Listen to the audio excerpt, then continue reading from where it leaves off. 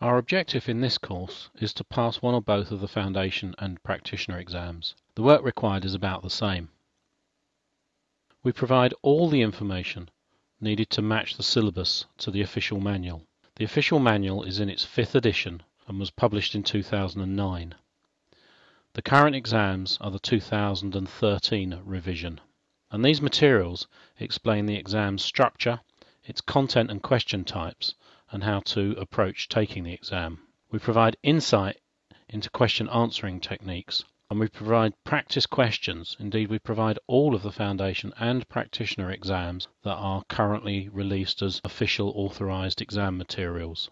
Passing the exam takes a lot of effort because the volume of information, but it's very easy in every other way. There's nothing complicated about Prince 2.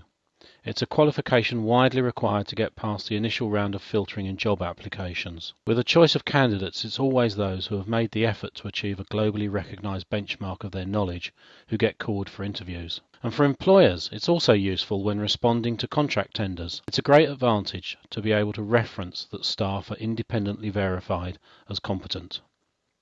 These materials are highly focused on preparing for and passing the Foundation and Practitioner exam on your first attempt.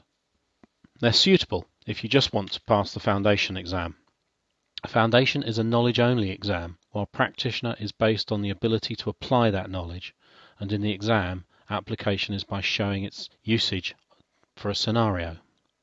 The only difference in your work to pass both is the practice of practitioner questions. Upcoming chapters have downloadable workbooks that in total include the full set of official practice exams for both levels but more on that later. If and when your interest is one of applying Prince to your organization and implementing and embedding Prince, then please feel free to contact us to discuss your needs. The skills that you need to pass the exam are not as great as those that you need in order to be able to embed it into an organization.